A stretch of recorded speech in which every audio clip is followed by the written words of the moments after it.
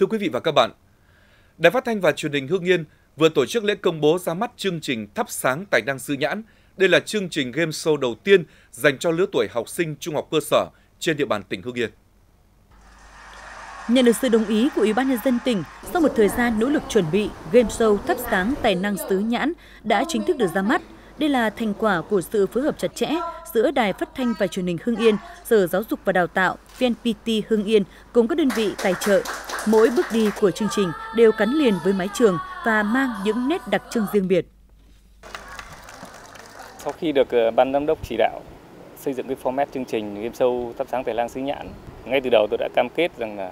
phải xây dựng một cái ờ, chương trình làm sao nó khoa học, uh, trí tuệ, sôi động và giàu bản sắc của đất và người Hưng Yên. Xong uh, format